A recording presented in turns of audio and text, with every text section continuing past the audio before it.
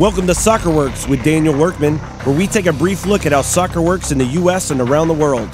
Three, two, one. On episode 23, we look at the U.S. Soccer Professional League Standards Task Force.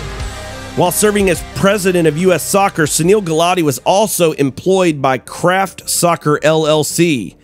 Yep, that's the same Bob Kraft that owns the New England Patriots of the NFL as well as the New England Revolution of Major League Soccer.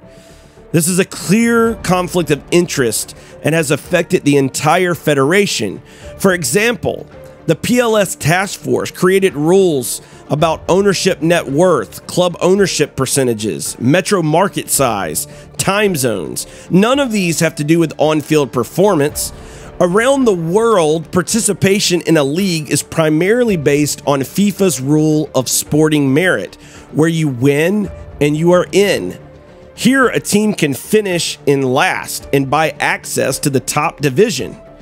So here we have a task force created by an employee of a Major League Soccer owner operator, which wrote the rules that provided MLS with the ability to limit competition and create asset value. Fortunately, due to US law, there is a path forward for independent clubs. It will take compromise, huge amounts of hard work, complete commitment to the cause, and the unification around a plan and a project.